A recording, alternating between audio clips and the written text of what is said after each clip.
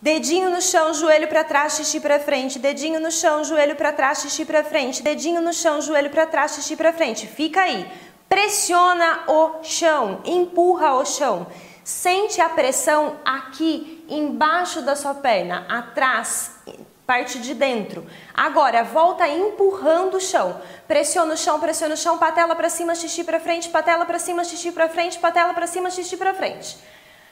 Ai, eu cheguei.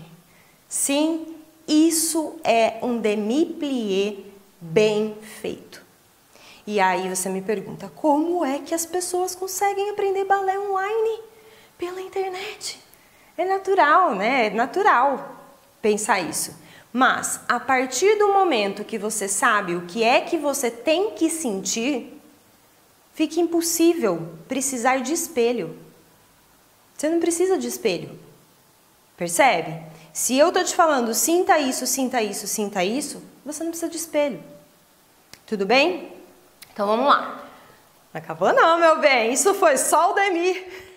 Esse Vão Balé Adulto já começou, já tem aula liberada. Eu estou explicando lá sobre as três esferas que eu trabalho no meu método para você se tornar uma bailarina adulta segura e graciosa. Expliquei também sobre os sete perfis da bailarina adulta. Qual será que é o seu?